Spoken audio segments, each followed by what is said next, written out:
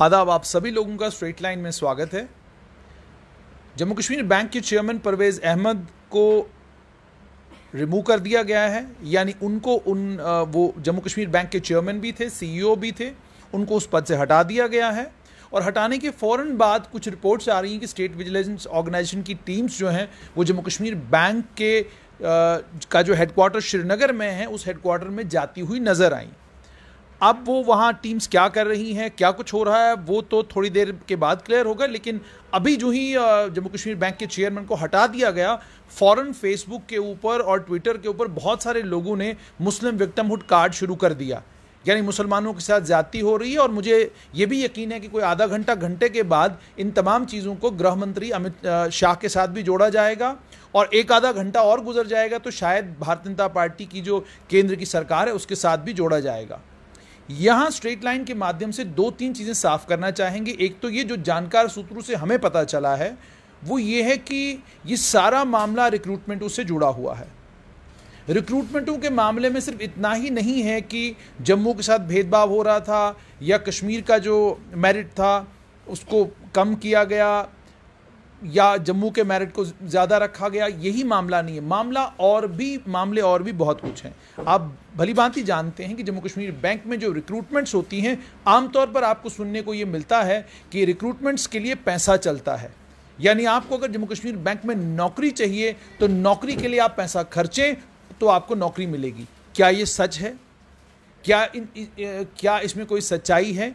क्या ये बात तथ्यों के आधार पर है? ये तमाम चीज़ें इन्वेस्टिगेट होनी चाहिए थी, आज नहीं, सालों से इसकी ज़रूरत थी, लेकिन कभी इन्वेस्टिगेट नहीं हुआ। दूसरा, जम्मू कश्मीर बैंक ने कश्मीर घाटी के हों या जम्मू के हों, कुछ ऐसे बड़े व्यापारी हैं, कुछ ऐसे बड़े लाला लोग हैं जिनको लोन्स दिए हैं। लोन सिर्फ़ और सिर्फ़ इसलिए उनको दिए गए हैं क्योंकि उनका कुछ राजनीतिक पार्टियों के साथ करीबी संबंध हैं या वो कुछ राजनीतिक पार्टियों के बड़े लोगों को जानते हैं। और अक्सर ये भी होता रहा है कि जम्मू कश्मीर बैंक का जो चेयरमैन बनता पिछले कम से कम अगर मैं उन्नीस सौ छियानवे से लेकर आज 2019 तक देखूँ, जो भी जम्मू कश्मीर बैंक का चेयरमैन बना, वो या तो नेशनल कॉन्फ्रेंस का खास था, या पीपल्स डेमोक्रेटिक पार्टी का खास था। और आमतौर पर लोगों में ये भी धारणा है, और लोग ये मानते भी हैं कि जम्मू कश्मीर बैंक का चेयरमैन 96 के बाद जो भी बना, उस चेयरमैन की फाइनेंस मिनिस्टर के साथ एक अच्छी खासी जुगलबंदी हुआ करती थी। ये सब बातें पब्लिक डोमेन में हैं, लेकिन इन बातों में कितनी सच्चाई है, उनका इन्वेस्टिगेट होना भी बहुत ज़्यादा ज़रूरी है। अब दूसरी चीज़ मुस्लिम विक्टम विक्टमहुड कार्ड कि जी परवेज़ अहमद को इसलिए निकाल दिया गया क्योंकि भारतीय जनता पार्टी चाहती है कि जम्मू कश्मीर बैंक का चेयरमैन हिंदू हो, क्योंकि कभी जम्मू कश्मीर बैंक का चेयरमैन कोई हिंदू रहा ही नहीं। ये भी तथ्यों के आधार पर नहीं है। तथ्य ये हैं कि गिरधारी लाल डोगरा जम्मू कश्मीर बैंक के चेयरमैन रह चुके हैं। उसके अलावा और भी बहुत सारे लोग हैं। S K Singh Jammu Kashmir bank के चेयरमैन रह चुके हैं। अशोक कुमार जम्मू कश्मीर बैंक के चेयरमैन रह चुके हैं और भी कई नाम हैं जो जम्मू कश्मीर बैंक के चेयरमैन रह चुके हैं। हाँ एक सच्चाई ज़रूर ये है कि 1996 के बाद जितनी भी सरकारें बनी, उन सरकारों ने अपने ख़ास लोगों को, अपने करीबी लोगों को, अपने दोस्तों को बैंक का चेयरमैन बनाया। इसमें भी कोई शक नहीं कि जिन दोस्तों को चेयरमैन बनाया, वो काबिल थे। M Y Khan Jammu Kashmir bank के चेयरमैन रहे। कोई किसी से ये बात ढकी छुपी नहीं कि M Y Khan doctor Farooq Abdullah के करीबी रहे नेशनल कॉन्फ्रेंस के करीबी थे, और M Y Khan doctor Farooq Abdullah के टेन्यूर में तो जम्मू कश्मीर बैंक के चेयरमैन रहे ही रहे, उसके बाद भी थोड़ी देर के लिए चेयरमैन रहे। पीपल्स डेमोक्रेटिक पार्टी कांग्रेस की सरकार जब जम्मू कश्मीर में आई तो डॉक्टर हसीब द्राबू को मुजफ्फर हुसैन बेग ने इंट्रोड्यूस किया। मुजफ्फर हुसैन बेग ने उनको जब इंट्रोड्यूस किया, वो बैंक के चेयरमैन बने। आज जैसे आप एकदम से हंगामा हो रहा है कि जी, अचानक क्यों बदल दिया गया? अचानक ही जम्मू कश्मीर बैंक के चेयरमैन बदले गए हैं। इतिहास को ज़रा पलट कर देखें तो आपको मालूम ये पड़ेगा, जब भी सरकारें बदली, रातों रात चेयरमैन भी जम्मू कश्मीर बैंक का बदल दिया गया। और आपको ये भी याद होगा, डॉक्टर हसीब द्राबू जम्मू कश्मीर बैंक के चेयरमैन बने। मुजफ्फर हुसैन बेग फाइनेंस मिनिस्टर हुआ करते थे। द्राबू साहब इकोनॉमिक एडवाइजर भी थे और जम्मू कश्मीर बैंक के चेयरमैन भी थे। वो भी समय था। उसके बाद डॉक्टर हसीब द्राबू चेयरमैन रहे 2009 में नेशनल कॉन्फ्रेंस कांग्रेस की सरकार बनी, दो नाम निकलकर सामने आए। एक नाम मुश्ताक अहमद का था और दूसरा नाम था प्रोफेसर सैफुद्दीन सोज के बेटे का। ये दोनों नाम थे जिन नामों के ऊपर चर्चा चल रही थी कि इन दोनों में से एक जम्मू कश्मीर बैंक का चेयरमैन बनेगा। अब सवाल यहाँ पर ये, क्यों प्रोफेसर सैफुद्दीन सोच चूँकि वो कांग्रेस के थे, मुश्ताक अहमद नेशनल कॉन्फ्रेंस के करीबी माने जाते थे क्या ऐसा नहीं होना चाहिए था कि काबिलियत की बुनियाद पर किसी तीसरे आदमी को जम्मू कश्मीर बैंक का चेयरमैन बनाया जाना चाहिए था, लेकिन ऐसा नहीं हुआ। उस समय मुश्ताक अहमद को चेयरमैन बनाया गया और मुश्ताक अहमद को अब्दुल रहीम राथर का, मोहम्मद शफी उड़ी का करीबी माना जाता था। उसके बाद 2009 और 2014 के बाद जब सरकार बदली मुश्ताक अहमद रिटायर हुए। उनकी रिटायरमेंट के बाद परवेज अहमद को जम्मू कश्मीर बैंक का चेयरमैन बनाया गया। हालाँकि तासर यह दिया गया कि उनको काबिलियत की बुनियाद पर चेयरमैन बनाया गया। लेकिन बहुत सारे लोन केसेस के मामले में जो फैसले परवेज अहमद ने लिए, रिक्रूटमेंट के मामलों में जो फैसले परवेज अहमद ने लिए, या जिस तरीके से जम्मू कश्मीर बैंक में रिक्रूटमेंट हुई, वो इस और इशारा कर रही थी कि जम्मू कश्मीर बैंक के चेयरमैन किसी न किसी पार्टी की बात सुन रहे हैं। और उसके बाद आपने वो वो चीज़ें भी आपके जहन में होगी कि कुछ अखबारों में खबरें भी आई कि भारतीय जनता पार्टी के भी एक वरिष्ठ नेता ने अपनी कॉन्स्टिट्युंसी के कुछ नौजवान लड़कों को जम्मू कश्मीर बैंक में अपॉइंट करवाया। अगर ये सच है तो ये भी जम्मू कश्मीर के जितने भी नौजवान हैं, जम्मू के भी, कश्मीर के भी मेरिट की बुनियाद पर, जो रात दिन मेहनत करते हैं और उसके बाद उनकी उम्मीद और तवक्का ये होती है कि वो बैंक में उनको नौकरी मिले उन्हें नौकरियाँ नहीं मिली, और अगर दो लोग भी इस तरीके से जम्मू कश्मीर बैंक में लगे हैं तो गलत है। उन दो लोगों के खिलाफ भी कार्रवाई होनी चाहिए, क्योंकि कोई भी बैकडोर एंट्री बैंक के अंदर हो या किसी दूसरे इंस्टीट्यूशन में हो, साफ़ मतलब है वो मेरिट को काट कर होती है। और आज परवेज अहमद को जिस समय अचानक हटाया गया तो भौचक्के में सबके सब बैंक के लोग भी परेशान हैं। हमने बैंक में बातचीत करने की कोशिश की, जानने की कोशिश की कि बैंक का इसके बारे में क्या कहना है। उन्होंने कहा, हमें खुद भी मालूम नहीं कि इनको क्यों रिमूव किया गया। लेकिन अब फॉरन विक्टमहुड कार्ड शुरू हो जाएगा। फॉरन परवेज अहमद अब बहुत बड़े हीरो बनाने की, बहुत बड़ा हीरो बनाने की उनको कोशिश की जाएगी। यहाँ मैं आपको ये भी बताऊँ, आर के छिब्बर, जिनको जम्मू कश्मीर बैंक का इंटरिम चेयरमैन बनाया गया है, तीन महीने हैं उनके पास। यानी अक्टूबर के महीने में वो रिटायर हो रहे हैं, लेकिन अगर सरकार चाहे तो उनको फुल टर्म दे सकती है, उनको जम्मू कश्मीर बैंक का चेयरमैन बना सकती है। या सरकार अगर फैसला दूसरा करती है और सरकार एक बाजाबता नए एक चेयरमैन को ढूंढती है, वो भी एक पॉसिबिलिटी है, उससे भी इनकार नहीं किया जा सकता। लेकिन अभी क्या होगा और अभी क्या हो रहा है? अगर स्टेट विजिलेंस ऑर्गेनाइजेशन रेड कर रही है जम्मू कश्मीर बैंक को तो इसका मतलब मामला गंभीर है और मामले की गंभीरता को देखते हुए सरकार ने एक ऐसे दिन फैसला लिया जिस दिन बैंक का भी हॉलीडे था, सरकार की भी छुट्टी थी, सिविल सेक्रेटरीट भी बंद है और हाईकोर्ट की भी छुट्टी है। तो इन तमाम चीज़ों को ध्यान में रखते हुए अगर आज के दिन सरकार ने फैसला लिया है तो इसका मतलब मामला गंभीर है। और एक और चीज़ अब इन तमाम चीज़ों को भी बल मिलेगा इन बातों को भी बल मिलेगा कि जम्मू कश्मीर बैंक के अंदर जो रिक्रूटमेंट हो रहा था उस रिक्रूटमेंट में बड़े पैमाने पर धांधलियाँ हो रही थी।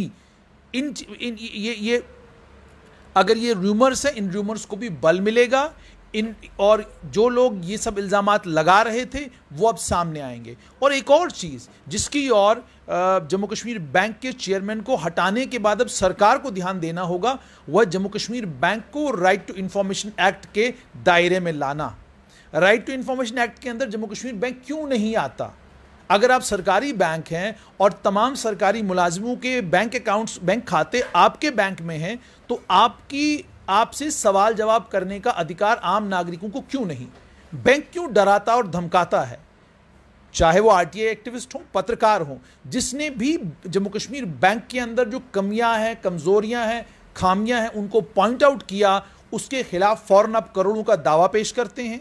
और तीन तीन चार चार वकीलों को उसी काम पर लगा देते हैं। क्या ये काम है बैंक का? आखिरकार आप डर किस चीज़ से रहे हैं? और आपको जा, ये जानकर भी हैरानी होगी कि आपके बैंक के अंदर ही बहुत सारे लोग ऐसे मौजूद हैं जो इन तमाम चीज़ों से परेशान हैं। जो बैंक के अंदर जो डिफ़ॉल्ट हो रहा है उससे परेशान है। जो बैंक के अंदर चोरी हो रही है उससे परेशान है। आपने डेढ़ सौ करोड़ का लोन एक बिजनेसमैन को दिया वो उस लोन को वापस नहीं कर सका। अब उस बिजनेसमैन को ये लग रहा था कि शायद नेशनल कॉन्फ्रेंस की सरकार जम्मू कश्मीर में बनने वाली है, जो ही सरकार बनेगी, क्योंकि फाइनेंस मिनिस्टर नेशनल कॉन्फ्रेंस से होगा तो हम फ़ौरन जम्मू कश्मीर बैंक के चेयरमैन को कहेंगे कि इनको 200 करोड़ लोन दीजिए 150 करोड़ एडजस्ट हो जाएगा 50 करोड़ और लोन मिलेगा, ये थोड़ी देर के लिए अपना कारोबार करेंगे और उसके बाद आपको किस्त देना शुरू करेंगे। ये किस तरह का कारोबार है? ये किस तरह की बैंकिंग प्रैक्टिस है? और ये किस तरीके से आप जस्टिफाई करते हैं? जहाँ पर आप एक आम नागरिक को जब वो कोई कारोबार अपना खोले, उसको परेशान करते हैं, उसको, उसकी दिक्कतें दुगनी, तिगनी और चौगनी कर देते हैं, वहाँ पर ये कैसे जस्टिफाइड है कि आप बिग बिज़नेस हाउसेस को, जिनका, जिनके रिश्ते, नाते सियासी लोगों के साथ हैं, उनको आसानी से लोन दे देते हैं, उनके डिफॉल्टर होने के बावजूद आप उनके लोनों को रिन्यू करते हैं। ये सब कुछ जम्मू कश्मीर बैंक में होता है, होता रहा है। और यहाँ मैं आपको एक और बात बताऊँ। कि जम्मू कश्मीर बैंक का कुछ न्यूज़ चैनल्स के साथ भी कोई झगड़ा एक चल रहा है। लोन दिया था, लोन डिफ़ॉल्ट में चला गया, किसी एक कंपनी को लोन दिया, वो डिफ़ॉल्ट में चला गया, एक ब्रुवरी को लोन दिया गया, वो डिफ़ॉल्ट में चला गया। ये तमाम मामले भी जम्मू कश्मीर बैंक में हो रहे हैं। हालाँकि बैंकिंग मामले हैं, ये मामले सुलझाए भी जा सकते हैं, लेकिन मसला यहाँ पर यह है कि अगर ये तमाम चीज़ें हो रही थी, इसके बीच में दो बातें करना। नंबर एक, मुस्लिम विक्टमहुड यानी परवेज अहमद को इसलिए हटाया गया क्योंकि वो मुसलमान हैं और बीजेपी एक हिंदू चेयरमैन को जम्मू कश्मीर बैंक पर थोपना चाहती है, सवाल होना ही नहीं चाहिए। बैंक का चेयरमैन अपनी कॉम्पिटेंस कैपेबिलिटी और इंटेलेक्ट की बुनियाद पर होना चाहिए। जम्मू कश्मीर बैंक का चेयरमैन वो शख्स होना चाहिए जो बैंक को आसमान पर ले जाए। जहाँ बैंक आज है, उससे ज़्यादा बैंक को और अच्छा करे। बैंक का जो प्रोफ़ाइल है इंटरनेशनल नेशनल लेवल पर या इंटरनेशनल लेवल पर उस प्रोफ़ाइल को और बढ़ाए, बैंक के बिज़नेस को चार गुना कर दे, वो आदमी किसी भी धर्म से ताल्लुक़ रखता हो, किसी भी समुदाय से ताल्लुक़ रखता हो, वो पंजाब का हो, वो केरला का हो, वो चाइना का, वो कहीं किसी भी जगह का हो, अगर सरकार को लगता है कि ये आदमी बैंक को चला सकता है और बैंक का जो लोन में डिफ़ॉल्ट्स हैं, जो बैंक की लोनिंग की प्रॉब्लम्स हैं, या जो बैंक के अंदर रिक्रूटमेंट का प्रोसेस है, या जो बैंक के अंदर बाकी सारे, बहुत सारे इश्यूज़ हैं, उन इश्यूज़ को एड्रेस करके इस बैंक को रिफॉर्म कर सकता है और बैंक के प्रॉफिट को तीन गुना, चार गुना नहीं, बल्कि दस गुना, बीस गुना बढ़ा सकता है। तो ये कोई जबते होने चाहिए, ये कोई कानून ये कोई जबते होने चाहिए, ये कोई क्राइटेरिया होना चाहिए जिसकी बुनियाद पर बैंक का चेयरमैन लगाया जाना चाहिए। नहीं तो अगर पिछले हम 24 साल का आंकलन करें 96 से 22 साल का आंकलन करें तो बैंक का चेयरमैन अक्सर वो शख्स जम्मू कश्मीर बैंक में बना जिसका ताल्लुक किसी एक राजनीतिक दल के साथ हो, चाहे नेशनल कॉन्फ्रेंस के साथ, चाहे पीपल्स डेमोक्रेटिक पार्टी के साथ। तो जब इस तरह से बैंक में रिक्रूटमेंट्स होंगी, जब इस तरीके से बैंक के चेयरमैन आएँगे तो उसके बाद स्वाभाविक है कि कोई भी आदमी ये सवाल पूछेगा कि आप कॉम्पिटेंस की बुनियाद आप कॉम्पिटेंस की बात क्यों करते हैं? आप कैपेबिलिटी की बात क्यों करते हैं? आप इंटेलेक्ट की बात क्यों करते हैं? आप बिज़नेस आप बिज़नेस की बात क्यों करते हैं? ये तमाम सवाल खड़े होंगे। तो आज जो जम्मू कश्मीर बैंक के चेयरमैन परवेज अहमद को हटाया गया है, ये बहुत बड़ा डेवलपमेंट है। इंटरिम जो इस वक्त चेयरमैन आए हैं, मिस्टर आर के छिब्बर आए हैं, इससे पहले ग्रामीण बैंक में थे, वहाँ से वापस लाए गए इस वक्त जो थे, लगभग वो बैंक के चेयरमैन के बाद सबसे सीनियर आदमी वही हैं जम्मू कश्मीर बैंक में और बिल्कुल उस प्रोटोकॉल को फॉलो फॉलो किया गया है। और आर के छिब्बर तीन महीने के लिए तो आए हैं, लेकिन अगर सरकार चाहे तो इनको तीन साल के लिए जम्मू कश्मीर बैंक का चेयरमैन नियुक्त कर सकती है। या हो सकता है किसी दूसरे व्यक्ति को लाना हो, वो भी पॉसिबिलिटी है। तो इसमें तीनों चीज़ें मैंने आपको क्लियर कर दी। पहली बात ये मुस्लिम विक्टम विक्टमहुड का इसमें किसी किस्म का कोई गाना या कोई राग अलापने की ज़रूरत नहीं है। नंबर दो, बैंक के अंदर।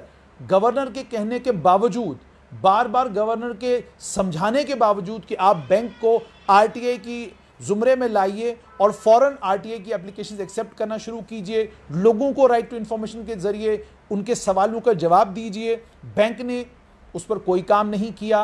रिक्रूटमेंट का प्रोसेस आया तो बैंक ने जम्मू और कश्मीर के बीच में खाई खड़ी कर दी। बैंक ने कट ऑफ़ जो था रिक्रूटमेंट में जम्मू का कट ऑफ़ 65 पहुँचा दिया कश्मीर का कट ऑफ़ 46 किया। बाद में जब प्रेशर पड़ा तो 40 पे कट ऑफ़ दोनों जगह का ले आए। तो ये तमाम चीज़ें इस और इशारा करती हैं। और तीसरा बड़ा मसला जो मैंने आपको बो, बोला कि डिफ़ॉल्ट में जो लोन्स गए हैं चौथा मसला कि ये इल्ज़ाम लग रहे हैं कि जो रिक्रूटमेंट का प्रोसेस है, उस रिक्रूटमेंट के प्रोसेस में पैसा इन्वॉल्व है। और पांचवी और सबसे इंपॉर्टेंट बात यह है कि बैंक की क्रेडिबिलिटी को नुकसान नहीं पहुँचना चाहिए बैंक की क्रेडिबिलिटी ख़राब नहीं होनी चाहिए। और बैंक चूँकि जम्मू कश्मीर के मुलाजमीन का बैंक है तो आरटीआई के परव्यू में आने में या आरटीआई को एक्सेप्ट करने में इस बैंक को दिक्कत क्या है? जब आप इन तमाम मामलों में दिक्कत करते हैं जब आप इन तमाम मामलों में हेजिटेशन शो करते हैं, जब आप बड़े लोगों के लोनों को एडजस्ट करते हैं और उन्हें चोरी करने में मदद करते हैं तो ज़ाहिर सी बात है, फिर इस तरह के एक्शन मिनटों में भी हो सकते हैं, सेकेंडों में भी हो सकते हैं। और एक और चीज़ यहाँ बताऊँ, चूँकि इस समय केंद्र में भारतीय जनता पार्टी की सरकार है और जम्मू कश्मीर में राज्यपाल शासन लागू है तो फ़ौरन कह दिया जाएगा कि ये जी केंद्र का फैसला है। जो पार्टियाँ ये कहें, वो अपने गिरेबान में झाँक कर देखें कि जब भी सरकार बदली नेशनल कॉन्फ्रेंस की सरकार बदली, पीपल्स डेमोक्रेटिक की सरकार बनी तो आपने रातों रात बैंक का चेयरमैन चेंज किया। पीपल्स डेमोक्रेटिक पार्टी कांग्रेस की सरकार बदली, नेशनल कॉन्फ्रेंस कांग्रेस की सरकार बनी, आपने रातों रात बैंक का चेयरमैन, अनसेरेमोनियसली आपने डॉक्टर हसीब द्राबू को बैंक के चेयरमैन की पोस्ट से बाहर निकाल दिया। आप करें तो सही है कोई और करे तो मुस्लिम विक्टम हुड है। तो मुझे उम्मीद है कि इस स्ट्रेट लाइन के स्पेशल लाइव से आपको ये तमाम चीज़ें क्लियर हुई होंगी। स्टेट विजिलेंस ऑर्गेनाइजेशन ने रेड्स ज़रूर की हैं। तफसीलात क्या हैं? डिटेल्स क्या हैं? वो अभी तक सामने नहीं आई हैं। डिटेल्स जब सामने आएँगी, हमारे, हम तक पहुंचेंगी और हम जब कन्विंस्ड होंगे कि ये डिटेल्स बिल्कुल सही हैं, ये व्हाट्सएप फैक्ट्री से या फेसबुक फैक्ट्री से निकली हुई डिटेल्स नहीं हैं, हम आपके साथ ज़रूर शेयर करेंगे। अभी के लिए सिर्फ़ इतना ही कि जम्मू कश्मीर बैंक के चेयरमैन को परवेज़ अहमद को हटा दिया गया है। Interim chairman are K Chhibber हैं। Are K Chhibber senior banker हैं और बैंकर ही हैं। कोई राजनीतिक किसी किस्म की कोई आ, वो कहते हैं ना कि कोई राजनीतिक कनेक्शन नहीं है उनका कोई बड़ी पॉलिटिकल पार्टी उनके पीछे नहीं है। वो आ, ऐसा भी नहीं है आर के छिब्बर के साथ कि बीजेपी ने उनको रिकमेंड करा तो तो जाके वो चेयरमैन बने। नहीं अपनी काबिलियत और अपनी ऑनेस्टी और डेडिकेशन के कारण आर के छिब्बर इस समय इंटरिम वाइस चेयरमैन बने हैं। और ये भी पॉसिबिलिटी है कि शायद उन्हीं को तीन साल के लिए जम्मू कश्मीर बैंक का चेयरमैन बनाया जा सकता है। तो गवर्नर ने फाइनली एक लंबे समय के बाद एक फैसला लिया और फैसला इसलिए भी लिया क्योंकि उनको भी अब लगने लगा था कि जम्मू कश्मीर बैंक की क्रेडिबिलिटी जम्मू कश्मीर बैंक की जो पोजीशन है, उस पोजीशन को किसी न किसी तरीके से ख़राब करने की कोशिश की जा रही थी, उस उन तमाम चीज़ों पर रोक लगाई जाए और रिक्रूटमेंट के मामलों में जो रीजनल बायस रिक्रूटमेंट के मामलों में जो रिलीजियस बायस का इल्ज़ाम था, कम से कम उस इल्ज़ाम को वेरीफाई किया जाए कि वाकई क्या ऐसा हुआ है या नहीं हुआ है। तो दीजिए सैयद जुनेद हाशमी को इस खास फेसबुक